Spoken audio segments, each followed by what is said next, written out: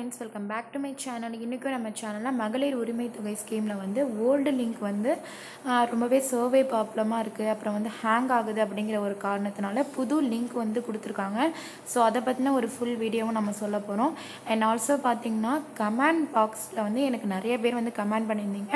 அவங்களுக்கு வந்து நான் டேரெக்டாகவும் ரிப்ளை பண்ணியிருந்தேன். அண்ட் ஆல்சோ நான் வீடியோ மூலியமாகவும் இப்போ ரிப்ளை பண்ண போகிறேன் ஸோ ஸ்கிப் பண்ணாமல் பாருங்கள் நான் லிங்க் வந்து கீழே டிஸ்கிரிப்ஷன் பாக்ஸில் கொடுக்குறேன். நீங்கள் கண்டிப்பாக வந்து கிளிக் பண்ணி பாருங்க. நீங்கள் கிளிக் பண்ண உடனே பார்த்தீங்கன்னா ஒரு ப்ளே பேஜ் வந்து ஓப்பன் ஆகிடும் அந்த பேஜ் பார்த்தீங்கன்னா வந்து ரீலோடும் ஆகாது. அன்ஆத்தரைஸ்டு பேஜ் அப்படின்னு வரவும் வராது. ரொம்பவே வந்து ஃபாஸ்ட்டாக இருக்குது இந்த வெப்சைட் ஸோ கிளிக் பண்ணி யூஸ் பண்ணி பாருங்கள் ஃபர்ஸ்ட் பார்த்தீங்கன்னா வந்து உங்களோட ரேஷன் கார்டு நம்பர் வந்து கேட்கும். அது மட்டும் நீங்கள் கொடுத்தா போதும். பார்த்தீங்கன்னா உங்களோட அப்ளிகேஷன் ஸ்டேட்டஸ் வந்து காமிச்சிடும் அதை தான் நீங்கள் வந்து எக்ஸாம்பிளாக வந்து மேலே வந்து வீடியோவில் வந்து பார்த்துட்ருக்கீங்க எதனால் வந்து உங்களோட ஃபார்ம் வந்து ரிஜெக்ட் ஆகிருக்கு அப்படிங்கிறத வந்து தெள்ள தெளிவாக வந்து வெறும் டூ செகண்ட்ஸில் நீங்கள் தெரிஞ்சுக்கலாம்.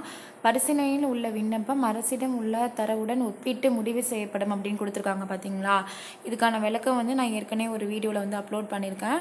பார்க்காதவங்க இன்றைக்கி நான் போட்டிருந்த வீடியோ வந்து செக் பண்ணுங்கள் கீழே டிஸ்கிரிப்ஷன் பாக்ஸில் லிங்க் தரேன். இந்த லிங்க் வந்து கண்டிப்பாக நீங்கள் யூஸ் பண்ணி பாருங்கள் ரொம்பவே ஈஸியான ஸ்டெப்ஸாக கூட இருக்கும். அண்ட் பார்த்தீங்கன்னா வந்து எல்லாருமே வந்து இ சேவை மையம் வந்து போயிட்டுருக்கீங்க. இ சேவை மையத்தில் வந்து கவர்மெண்ட் சர்டிஃபிகேட் வாங்கின இ சேவை மையமாக வந்து பார்த்து நீங்கள் வந்து போங்க. ஏன்னா இதுலேயும் வந்து நிறையா ஃப்ராட்ஸ்லாம் இருக்காங்க. ஸோ கவனமாக இருங்க. கவர்மெண்ட் ஆத்தரைஸ்டு இ சேவை மையமாக பார்த்து நீங்கள் போங்க. என்னோட சேனலில் கமெண்ட் பண்ணியிருந்த எல்லாருக்குமே ரொம்ப தேங்க்ஸ் அவங்களுக்காக நான் ஆன்சர் பண்ணலான்னு இருக்கேன். ஸோ இந்த ஃபுல் வீடியோவும் வந்து என்னோட சேனலில் வந்து கமெண்ட் பண்ணவங்களுக்கு நான் ரிப்ளை பண்ண போகிறேன் அண்ட் ஃபர்ஸ்ட் கமெண்ட் என்ன அப்படின்னு படிக்கலாம். ரிப்பீட்டடாக வந்த கமெண்ட்ஸ் மட்டும் தான் நான் எடுத்திருக்கேன். அதாவது ரிப்பீட்டட் கொஸ்டின்ஸ் வந்த கமெண்ட்ஸ் மட்டும்தான். கவர்மெண்ட் சொன்ன அமௌண்ட்டுக்குள்ளே தான் என் ஹஸ்பண்ட் வந்து வருமானம் இருக்குது no government job no property no own house and also வந்து வருமானம் கணக்கு கட்டுற கட்டுறதுல வந்து ஐடி ஃபீல்டு டூ லேக்ஸ் கீழே தான் உள்ளது. இதை காரணமாக காட்டி எனக்கு வந்து ரிஜெக்ட் செஞ்சுருக்காங்க அப்படின்னு கேட்டு சொல்லியிருக்காங்க. ஸோ நீங்கள் வந்து எந்த ஒரு இன்கம் டேக்ஸும் கட்டலை அப்படின்னா வந்து நீங்கள் கண்டிப்பாக வந்து மேல்முறையீடு செய்யலாம். அவங்க சொன்ன காரணமும் உங்களுக்கு வந்து அந்த காரணம் வந்து செல்லுபடி ஆகலை அப்படின்னா வந்து நீங்கள் கண்டிப்பாக மேல்முறையீடு செய்யலாம். இவங்க ஃபேமிலியில் பார்த்தீங்கன்னா அவங்க அம்மா தான் வந்து அப்ளை பண்ணியிருந்தாங்களாம். ஆனால் அவங்களுக்கு வந்து மெசேஜில் என்ன வந்திருக்குன்னா நீங்கள் வந்து பென்ஷன் வாங்குறதுனால தான் வந்து உங்களுக்கு ரிஜெக்ட் ஆகப்பட்டிருக்கு அப்படின்னு கொடுத்துருக்காங்க. ஸோ நீங்கள் கண்டிப்பாக வந்து ரீஅப்ளை பண்ணலாம். அது உங்களுக்கு வந்து சான்ஸ் இருக்குது ஏன் மெசேஜ் என்ன வந்திருக்கு அப்படின்னு பார்த்தீங்கன்னா இது வரைக்கும் எனக்கு எந்த மெசேஜுமே வரல. செலக்டடாக ரிஜெக்டடா அப்படின்னு எனக்கு எதுவுமே தெரியலை அப்படின்னு சொல்லியிருந்தீங்க. நீங்கள் போய் உங்கள் அப்ளிகேஷன் ஸ்டேட்டஸை பாருங்கள் அண்ட் பார்த்தீங்கன்னா அதில் என்ன குறிப்பிட்டிருக்கோ அதை நீங்கள் வந்து தாலுக்கா ஆஃபீஸில் போய் டேரெக்டாக உதவி மையம் சிலை செயல்படுதல அவங்கள்ட்ட போய் கேளுங்கள் இன்னொரு விஷயம் என்ன அப்படி கேட்டிருக்காங்க அப்படின்னு பார்த்தீங்கன்னா வந்து அமைப்பு சாரா நல வாரியத்தில் வந்து அவங்க வந்து பணம் வாங்குறாங்களா? நான் அப்ளை பண்ணலாமா அப்படின்னு கேட்டிருக்காங்க. அதனால வந்து அவங்க ஃபார்ம் வந்து ரிஜெக்ட் ஆகப்பட்டிருக்கு அப்படின்னு கொடுத்துருக்காங்க. நல வாரியத்தில் இருந்தீங்க அப்படின்னா வந்து கண்டிப்பாக வந்து நீங்கள் அப்ளை பண்ணலாம் அப்படின்னு வந்து ஏற்கனவே வந்து சிறப்பு முகாமில் வந்து கொடுத்துருந்தாங்க. அதாவது ஓய்வூதியம் வாங்குறவங்க அமைப்பு சாரா நல வாரியமில் இருக்கிறவங்க அவங்கலாம் வந்து கண்டிப்பாக வந்து பணம் வந்து வாங்கலாம் அப்படி வந்து கொடுத்துருந்தாங்க. அதாவது நீங்கள் வந்து ஃபார்ம் வந்து ஃபில்அப் பண்ணி கொடுக்கலாம் அப்படின்னு சொல்லியிருந்தாங்க. ஸோ நீங்கள் வந்து யார் உங்கள் ஃபேமிலியில் வாங்குறாங்களோ அவங்க வந்து பண்ணாமல் அவங்க வீட்டில் உள்ள ஒரு பொம்பளை பிள்ளைங்க யாராவது டுவெண்ட்டி எயிட் ஒன் ஏஜுக்கு மேலே இருந்தீங்க அப்படின்னா நீங்கள் ரீ அப்ளை பண்ணலாம். என் பையன் வந்து வருமான வரி கட்டுறான். நான் ஒரு மாற்றுத்திறனாளி. எனக்கு வந்து தௌசண்ட் ருபீஸ் கிடைக்குமா அப்படின்னு கேட்டிருக்காங்க. இவங்களோட ஃபார்ம் வந்து ரிஜெக்ட் பண்ணப்பட்டிருக்கு. வருமான வரி கட்டுற பையன் வந்து கல்யாணம் ஆன பையனா? அவங்க வந்து உங்கள் ரேஷன் கார்டில் வந்து குடும்ப உறுப்பினராக இருந்தால் கண்டிப்பாக உங்களால் வந்து அப்ளை பண்ண முடியாது. இன்கம் டேக்ஸ் கட்டுறவங்க யாருக்குமே வந்து மேல்முறையீடு பண்ணுறதுக்கு வாய்ப்பு கிடையாது. என்னோட அத்தைக்கு வந்து பென்ஷன் வருது. நான் வந்து ரீஅப்ளை பண்ணலாமா அப்படின்னு கேட்டிருக்கீங்க. உங்கள் அத்தைக்கு தானே வருது. அதனால் நீங்கள் கண்டிப்பாக வந்து அப்ளை பண்ணலாம். உங்களோட ஏஜ் வந்து டுவெண்ட்டி ஒன் ஏஜுக்கு மேலே இருந்துச்சுன்னா நீங்கள் கண்டிப்பாக ரீ அப்ளை பண்ணலாம். பென்ஷன் வாங்குறவங்கலாம் வந்து கண்டிப்பாக ரீஅப்ளை பண்ணலாம். அவங்களுக்கு வந்து ஏற்கனவே சிறப்பு முகாம்லேயே சொல்லியிருந்தாங்க. பென்ஷன் வாங்குறவங்க ஓய்வூதியம் வாங்குறவங்க நலவாரியத்தில் இருக்கிறவங்கலாம் வந்து நீங்கள் பண்ணலாம் தாராளமாக எங்களுடைய குடும்ப அட்டைவன் வந்து தரவுகளில் கிடைக்கவில்லை அப்படின்னு ஒருத்தவங்களுக்கு வந்திருக்கு. இப்படி வந்திருந்துச்சுன்னா நீங்கள் என்ன பண்ணணும் அப்படின்னு பார்த்தீங்கன்னா ரேஷன் கார்டு நம்பர் வந்து நீங்கள் சரியாக வந்து கொடுத்துருக்க மாட்டீங்கன்னு அர்த்தம். அதில் ஏதாவது ஒரு எரர் இருந்திருக்கலாம். அதனால கூட உங்களுக்கு ரிஜெக்ட் ஆகிருக்கலாம் நீங்கள் தாலுக்கா ஆஃபீஸில் போய் டேரெக்டாக உதவி மையம் இருக்குல்ல அவங்க போய் நீங்கள் டேரெக்டாக கேளுங்க. ஃபர்தர் ஸ்டெப்ஸ் என்ன எடுக்கணும் அப்படின்னு அவங்க தாராளமாக சொல்லுவாங்க.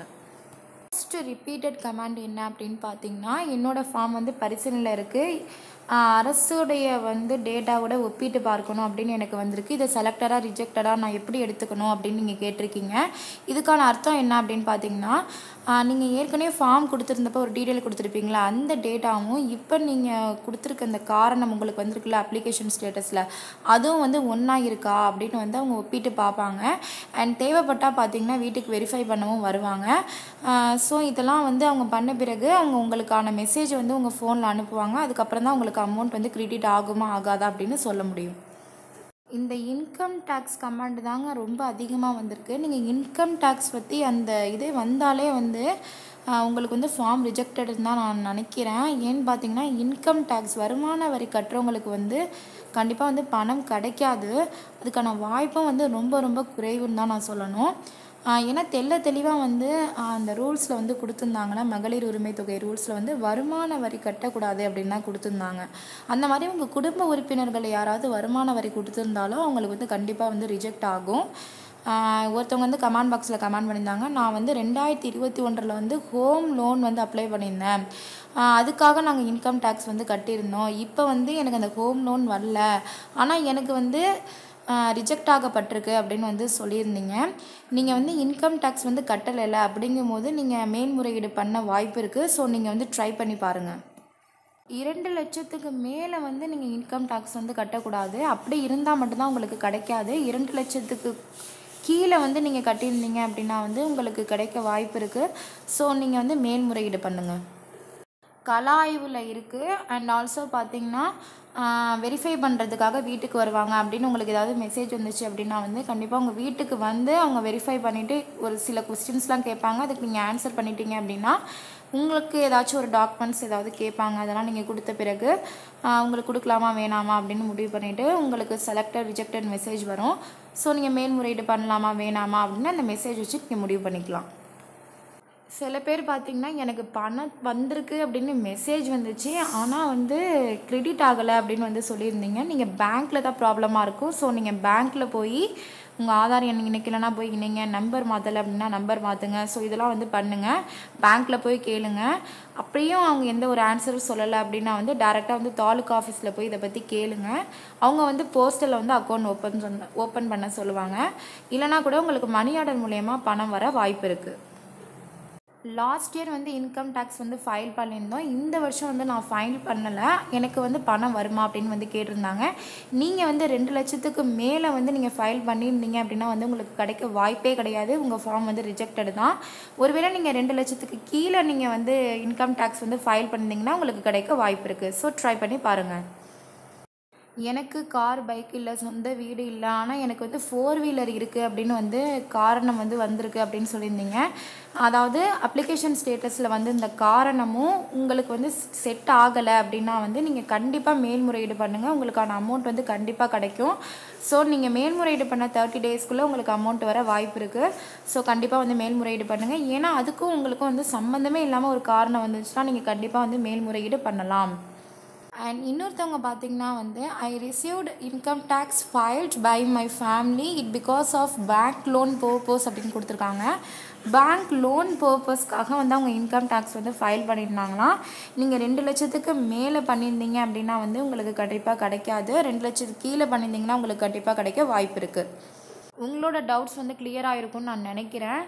அண்ட் இந்த வீடியோக்கும் நீங்கள் கண்டிப்பாக வந்து கமெண்ட் பண்ணுங்கள் நான் கண்டிப்பாக அடுத்த வீடியோவில் நான் வந்து கண்டிப்பாக ரிப்ளை பண்ணுறேன் ஸோ இந்த வீடியோ உங்களுக்கு பிடிச்சிருந்தா உங்களோட ஃப்ரெண்ட்ஸ் அண்ட் ஃபேமிலிக்கு ஷேர் பண்ணுங்கள் லைக் பண்ணுங்கள் ஷேர் பண்ணுங்கள் மறக்காமல் சப்ஸ்கிரைப் பண்ணுங்கள் don't forget press the bell icon thanks for வாட்சிங் கீப் டச்சிங்